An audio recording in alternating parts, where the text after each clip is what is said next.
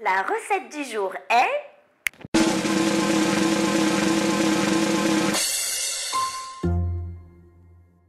Les frites Après avoir pelé les pommes de terre, on les fait tremper et ensuite on peut les couper en parallélépipèdes. Mais si vous êtes mauvais en géométrie, vous les coupez en frites. On les sèche dans un torchon.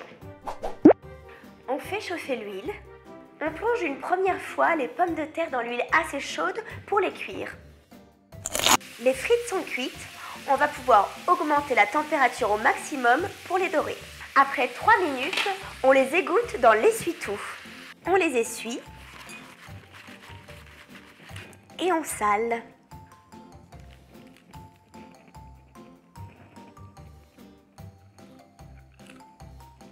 Tu veux d'autres recettes qui te donnent la frite? Alors abonne-toi. Hmm. Moi, j'adore manger mes frites avec le ketchup. Et toi, dis-nous dans les commentaires avec quelle sauce tu préfères.